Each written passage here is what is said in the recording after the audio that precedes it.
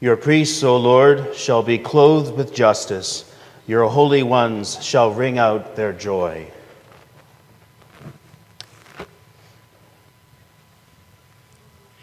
In the name of the Father, and of the Son, and of the Holy Spirit. Amen. The Lord be with you. This morning's Mass we offer for the repose of the souls of um, uh, repose of the soul of Umberto Perzina and for the intentions of Julia Thrasher. And today the, the church celebrates the feast of Saint Padre Pio. It's in the book it says Saint Pius of Pietrelcina, but I don't think I can pronounce that. and so, my brothers and sisters, let us acknowledge our sins and so prepare ourselves to celebrate this sacred mystery.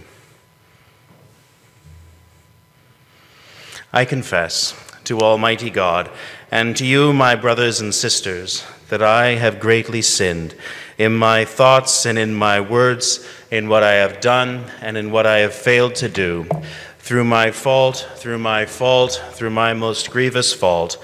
Therefore, I ask, Blessed Mary, ever Virgin, all the angels and saints, and you, my brothers and sisters, to pray for me to the Lord our God. And may Almighty God have mercy on us, forgive us our sins, and bring us to everlasting life. Lord, have mercy. Christ, have mercy. Lord, have mercy. Let us pray.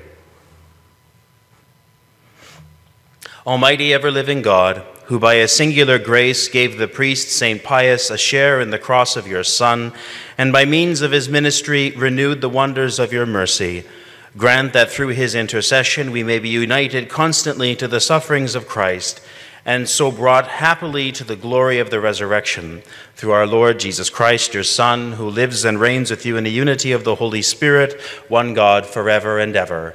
Amen.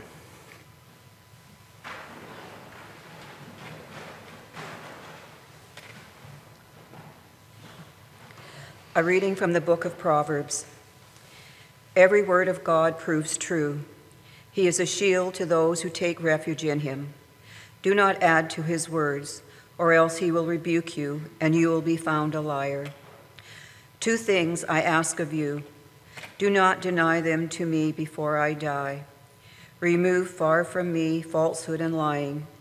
Give me neither poverty nor riches. Feed me with the food that I need, or I shall be full and deny you and say, Who is the Lord? Or I shall be poor and steal and profane the name of my God. The word of the Lord. Thanks be to God. Your word, O Lord, is a lamp for my feet. Your word, O Lord, is a lamp for my feet. Put false ways far from me, and graciously teach me your law. The law of your mouth is better to me than thousands of gold and silver pieces. Your word, O Lord, is a lamp for our feet. The Lord exists forever. Your word is firmly fixed in heaven. I hold back my feet from every evil way in order to keep your word. Your word, O Lord, is a lamp for my feet. Through your precepts I get understanding. Therefore, I hate every false way. I hate and abhor falsehood, but I love your law. Your word, O Lord, is a lamp for my feet.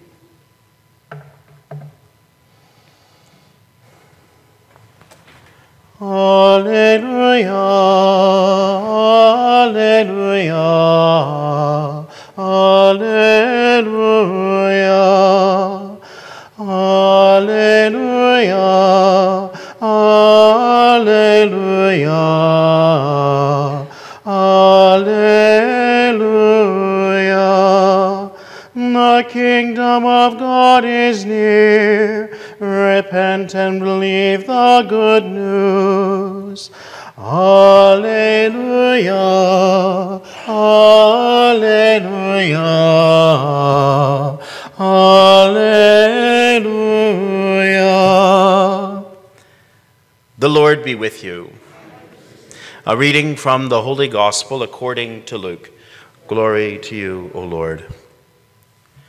Jesus called the twelve together and gave them power and authority over all demons and to cure diseases. And he sent them out to proclaim the kingdom of God and to heal. He said to them, Take nothing for your journey no staff, no bag, nor bread, nor money, not even an extra tunic. Whatever house you enter, stay there and leave from there. Wherever they do not welcome you, as you are leaving that town, shake the dust off your feet as a testimony against them. They departed and went through the villages bringing the good news and curing diseases everywhere. The Gospel of the Lord. Lord Jesus Christ. Be seated.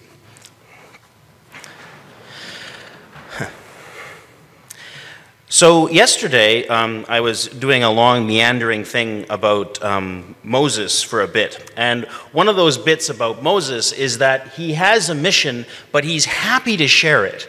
Um, he doesn't say, "I am Moses. I am the one who led you out of Israel, uh, led you out of led you out of captivity into the promised land, and you know, therefore, pay homage to me." He has the exact opposite attitude.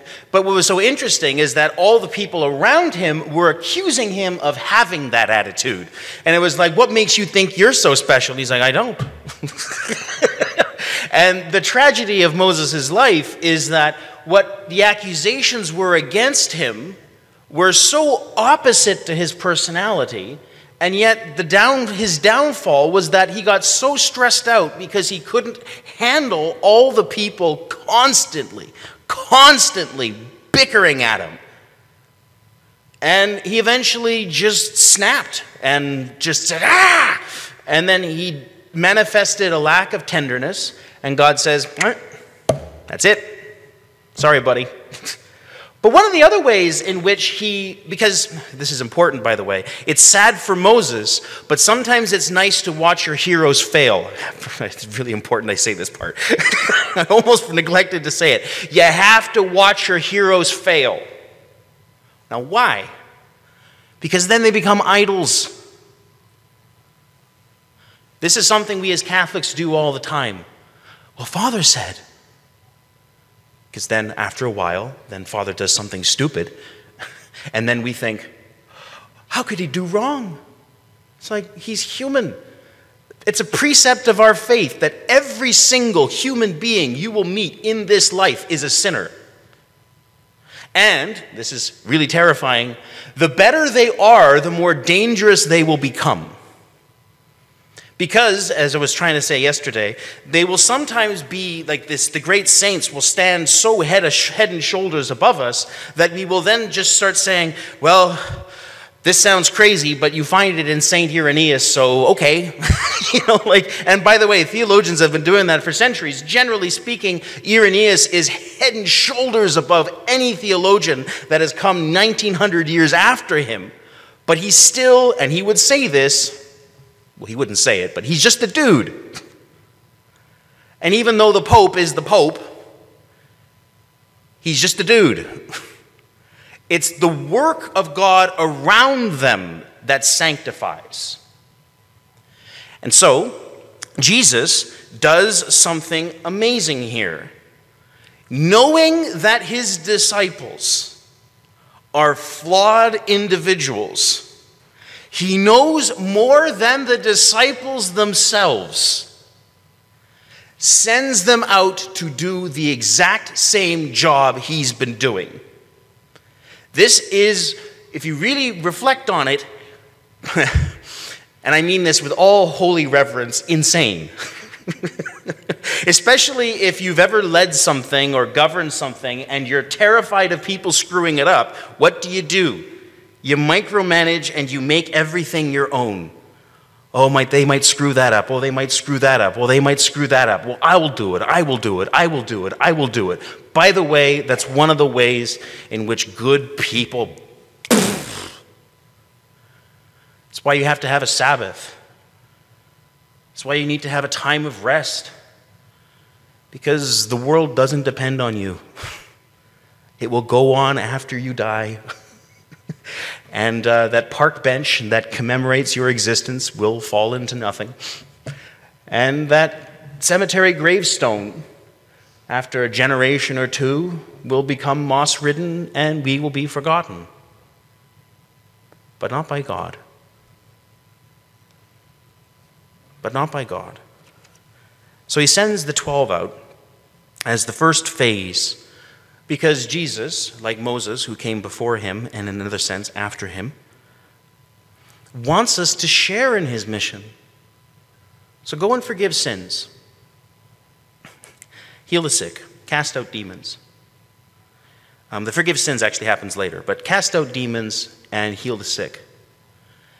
And if Jesus was a simple wonder worker, you know, a, a, a parlor, a parlor magician, he would want scarcity in those miracles.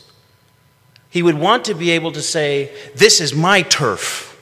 And you see this sometimes either in parishes or in uh, you know, parlor shows or all this other thing, where if you know that somebody else can do your job, right? That same thing that we fear about death, that we're replaceable, because we are. um, it's the same problem that we have in a community. We want to prop ourselves up and simultaneously tear people down so that we can kind of keep our dignity and our role. Jesus says, Yeah, that's not who I am. I work signs and wonders, great, but I want to share that with you. There's only one thing that he can't share, and that is his identity as the co eternal Son. Everything else, he wants to share it away. His power, his glory, everything about who it, what it means to be the Son of God, Jesus does not care one bit about hoarding it for himself. He wants us to share in it. Eh, we have been created in his image. He wants us, and you see this in the prayers, especially for a funeral.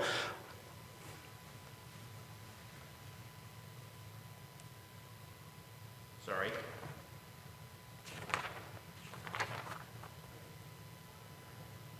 For seeing you, our God, as you are, we shall be like you for all the ages.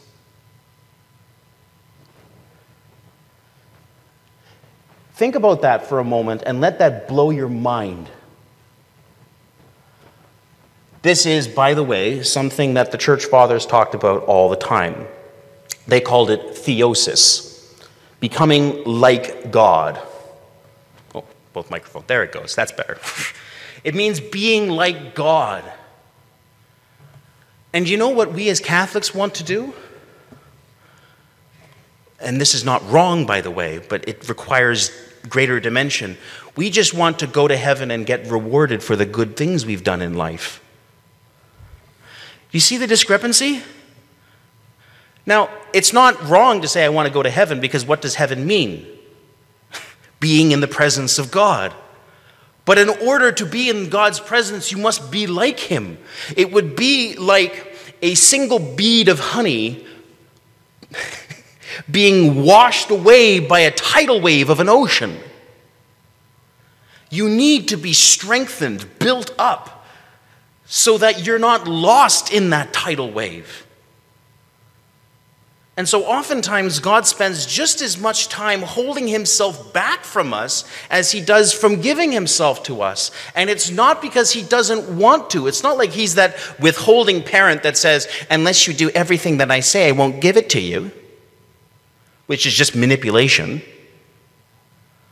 He's like, if I give you that giant stone of gold, it will crush you. That's the thing about gold. It's heavy. God's like, here, and then it's like a cartoon where you just get crushed under it. So he wants us to be strengthened. And this then leads us to the great paradox of a guy like Padre Pio who's famous for, like, if there's a kind of miracle that can be done, he did it. He's famous for um, healing sick people. He's done the stigmata, but he doesn't do the stigmata. He had the stigmata. He had the, the wounds on his hands and on his side. He would heal the sick. He would spend long hours in the confessional. Um, there's even one amazing story that when it, because he died in 1968, I think 68 or 62. Um, there's a dude flying a plane and his plane is going down. Padre Pio blesses him, bilocates, blesses the dude, and then says, Who was this guy? And he finds out it was Padre Pio, and Padre Pio knew the guy. like, it wasn't just like this guy is falling down. It's like, I think this guy's Padre Pio. He finds him, and Padre Pio's like, Oh, yeah, yeah, I saw you. it's just absolutely nuts. And then we start thinking, it's like, well, why aren't all of our priests like that? I'll tell you why. We can't handle it. You know what would happen if I, all of a sudden, when I would start anointing the sick, everybody would start getting better? You know, they're lying on their deathbed, and then I go and visit and I do the anointing of the sick, and then that person's like, whoo, that's great. Oh, that feels really good, Father. Thank you very much. I'm going to get out of here now. They just walk out. What would start happening? All of a sudden, the Comox Valley record will start saying, apparently there's a miracle priest in the Comox Valley. So then all of a sudden, people just start showing up at the door. And you might think, well, that'd be great to have so many people coming to church. It's like, yeah, yeah, yeah. Yeah, they're not coming to church. this, this is the tragedy. They're not coming for Jesus, they're coming for the miracle. And then here's the other danger this head, which is already rather big, starts expanding. Pride, arrogance. We're better than the other ones. And then one of our parishioners then goes down to St. George's downtown and says, Our priest can heal the sick. And then Ryan, is the, the pastor, Reverend Ryan, would just like, that guy's a jerk. and then it starts a fight, and then there's tensions. And then, highly likely, um, I would grow increasingly arrogant and conceited.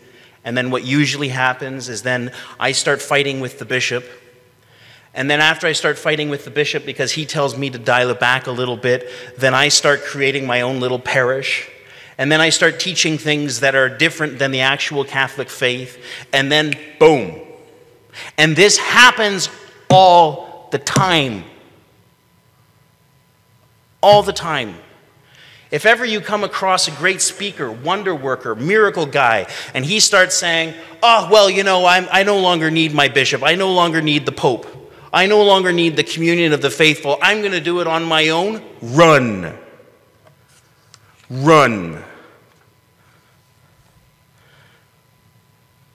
Because the bubbles of hell will be right behind him.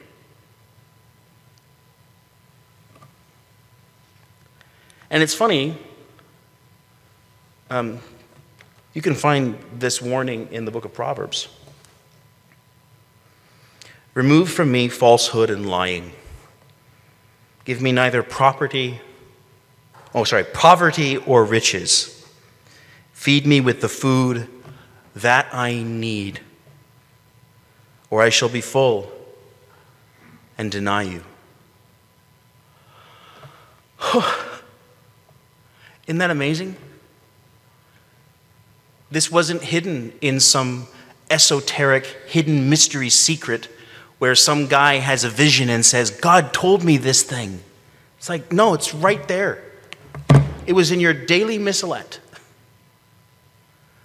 A profound wisdom that can have a transformative effect in the church if we just lived it.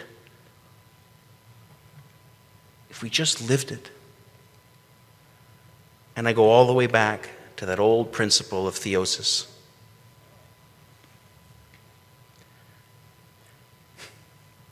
Do we see what we are given on this altar as the most valuable reality in our lives? Now, this is why God hides. If God revealed his glory in the Eucharist, we would have the exact same problem. Crowds of people coming in, and we wouldn't be able to handle it. So, what does Jesus do? He hides from our gaze so that we can gradually learn to long for Him and not for His power. Can you imagine the loneliness of God in this regard? He's like the rich uncle that's always asked for money. Give me this, give me this, give me this, give me this, give me this, give me this, give me this, give me this, give me this. I want to be able to work miracles. I want to do this. I want to do this. I want to do this. And then there's one dude in the 1960s that says, I want to share in your cross. And God says, You get all the gifts because you wanted me. Why do we not have great saints and a reform of church life? A renewal that would change the world and help the poor?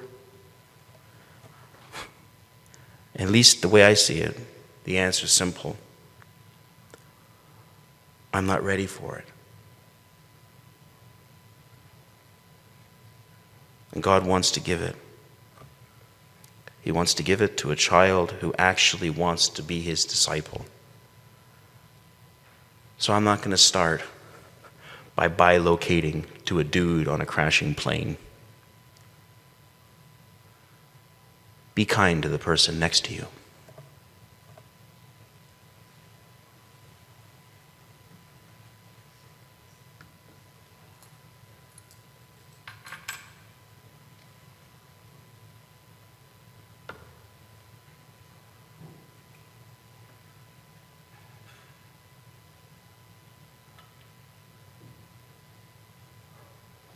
Blessed are you, Lord God of all creation, for through your goodness we have received the bread we offer you.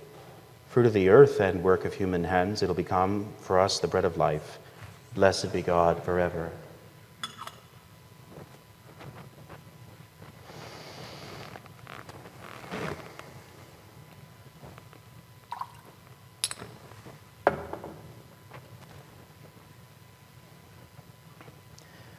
Blessed are you, Lord God of all creation, for through your goodness we have received the wine we offer you. Fruit of the vine and work of human hands, it'll become our spiritual drink. Blessed be God forever.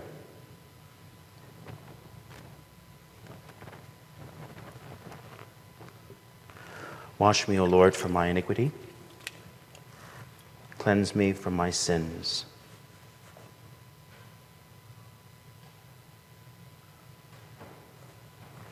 Pray, my brothers and sisters, that my sacrifice and yours may be acceptable to God, the Almighty Father.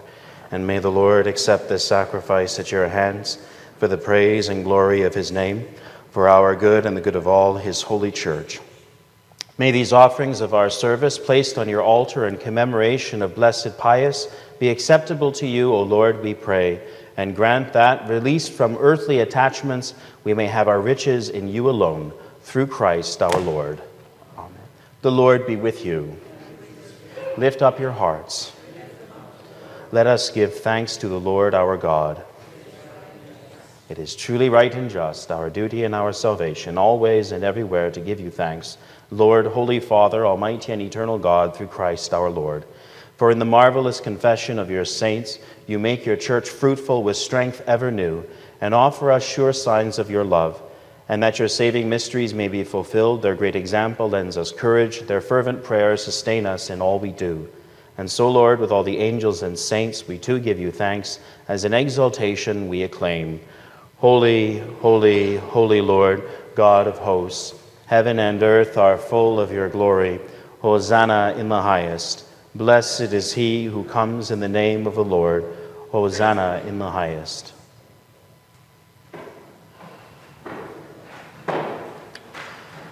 You are indeed holy, O Lord, the fount of all holiness. Make holy, therefore, these gifts, we pray, by sending down your Spirit upon them like the dewfall, so that they may become for us the body and blood of our Lord Jesus Christ.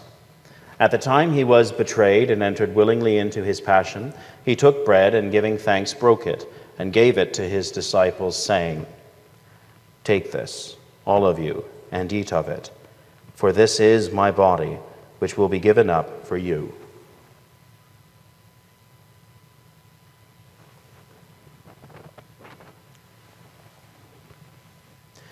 In a similar way, when supper was ended, he took the chalice, and once more giving thanks, he gave it to his disciples, saying, Take this, all of you, and drink from it, for this is the chalice of my blood, the blood of the new and eternal covenant which will be poured out for you and for many for the forgiveness of sins, do this in memory of me.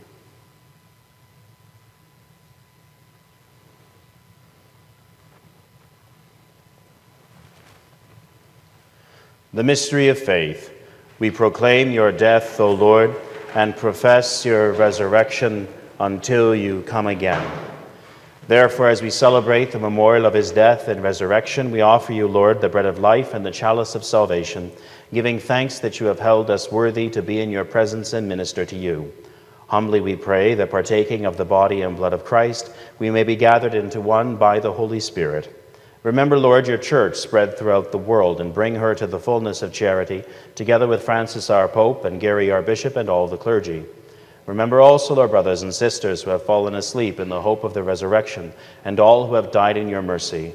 Welcome them into the light of your face. Have mercy on us all, we pray, that with the Blessed Virgin Mary, Mother of God, with blessed Joseph, her spouse, with the blessed apostles Peter and Paul, St. Padre Pio, and all the saints who have pleased you throughout the ages, we may merit to be co heirs to eternal life and may praise and glorify you through your Son, Jesus Christ. Through him and with him and in him, O God Almighty Father, in the unity of the Holy Spirit, all glory and honor is yours forever and ever. Amen. At the Saviour's command and formed by divine teaching, we dare to say, Our Father, who art in heaven, hallowed be thy name. Thy kingdom come, thy will be done on earth as it is in heaven.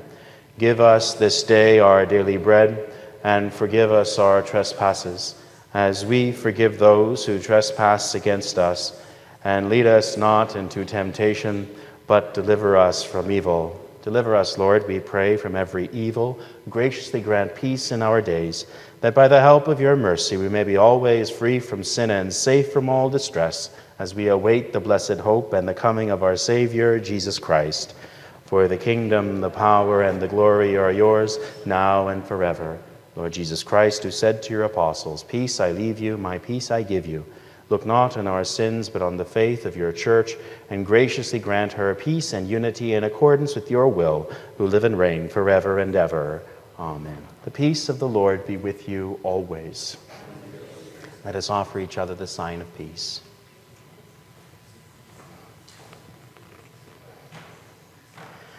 Lamb of God, you take away the sins of the world, have mercy on us. Lamb of God, you take away the sins of the world, have mercy on us. Lamb of God, you take away the sins of the world, grant us peace.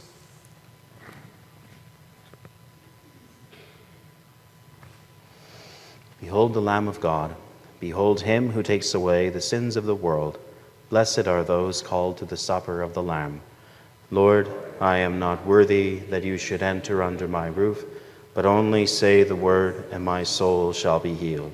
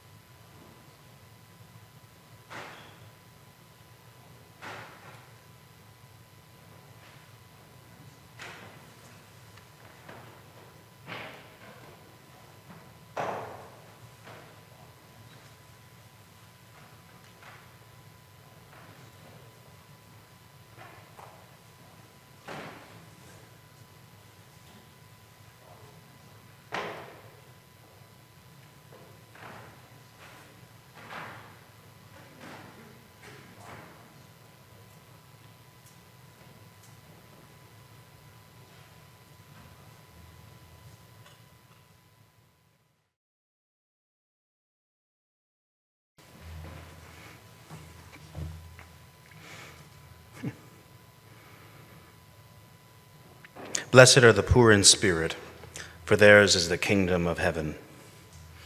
Let us pray.